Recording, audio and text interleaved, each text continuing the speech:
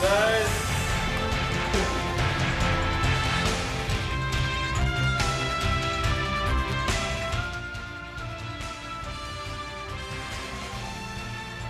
さあ今回はですね振り返るのが2008年6月15日ドリーム4ミドル級グランプリのセカンドラウンドです。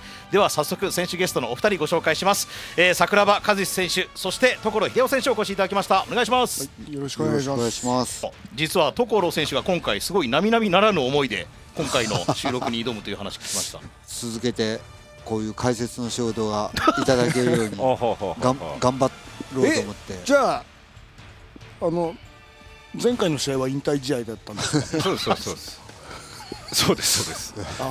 そうです。所秀夫と堀口教授っていう試合があって。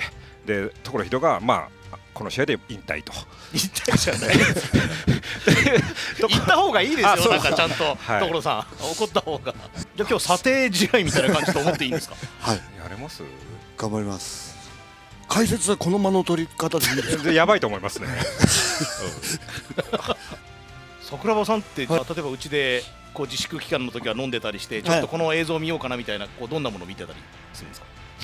え僕 僕は今ちょっとあのテレビドラマで再放送やってまして、はい。えー、愛してる愛してると言って愛してるよと言ってくれあの題名まで覚えてね最低ですね。めちゃくちゃ面白いですねはい、きつね。きつね、はい、今日あの、スタジオに来る控え室来てからずっとその話ですよね。でこうやってなんかマイブームを常に、あの 押し付けてくるんですよ。こそうこのそのノリで、えっと、VTR あの登場前の VTR 作ってくれみたいな。あの煽り V とは違う。はいはいはい。この時は何でしたっけ？あ石原裕次郎、えー、なんだっけ？我が我が人生に悔いはなし。悔いはなしが坂本さんの中で流行ってたんですね。1週間とか10日前に膝ばっきりやって動けないもできないっていう時だったんでもう人生かけてたんですよ。そうだあ でリクエストされて、あそうなんだ。だからやっぱり我が人生に悔いはなしっていう。悔いはなかったんですよこの試合に。え悔いばっかり言ってるじゃないですか。でもあところ移動はこれドリーム初登場でしたね。あこの時。あどんな感じだったかこう当時思い出します？不安が大きかったですよね。1回目の時特に。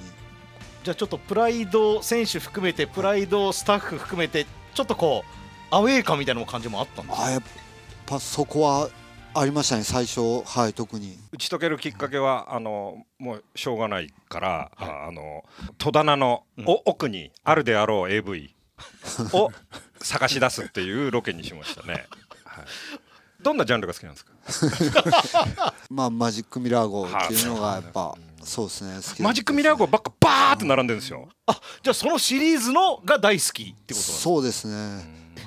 で打ち解けましたよね。なんとかね。そうですね。もう引退なんで大丈夫クイテットも引退なんですね。クイテットもですか？さあそして今回は、えー、桜庭選手は、えー、ミドル級のグランプリトーナメントの2回戦、はい、まあ、試合としてはメインですね、そして所選手はこれは契約体重みたいな形なんですよね。ライトより軽い階級。フェザー級そうですね。忘れてましたか？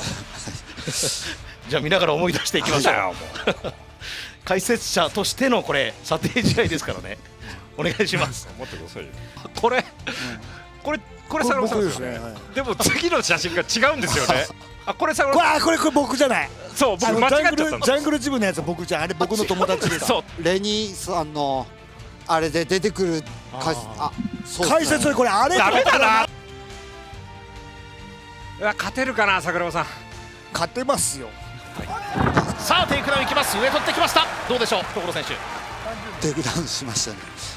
テイクダウンしたの誰でも知ってるんですけど誠にありがとうございます。まだ声通るもんね。これ貴重ですねアリスター・オーフレームの試合ドリームで。同じ階級でやってますトーナメント一緒に出てましたよね。やってたかもしれない、はい、見たかったな桜庭さんとアリスターも。DVD を。これか。コツコツと DVD を。そうです監督がすごい好きなのさあついにドリームでベールを脱ぐ所選手です。そうですね。こうやって煽られて本当嫌だったんでしょうねきっとね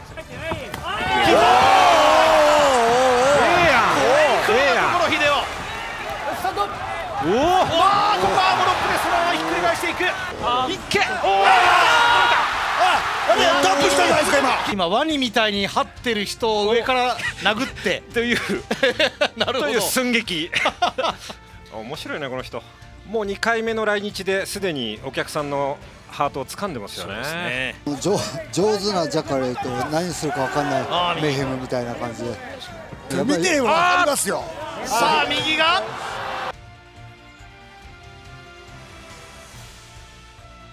あの降りるの大変そうですね。ね。ああ降りるのもしんどかったんですね、はい、無理だよ無理だよとマスクの中で思って、思ってんだ、マヌフのが出してません攻撃、いきなりそこだったシャワー行ってじゃあメルミンがもうシャワー浴びてたんです、はいはい、あでも今日サンキューサンキューとりあえずサンキューサンキューっつって。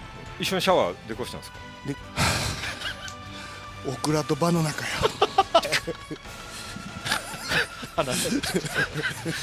いやじゃあ散々なドリーム4でしたね。どんなイメージだ、はい、所さんどうですか？解説者として、えー、全てをかけて挑んだ今回。そうですね。もうやっぱ無理ですね。やっぱりちょっとそうですね一杯飲んで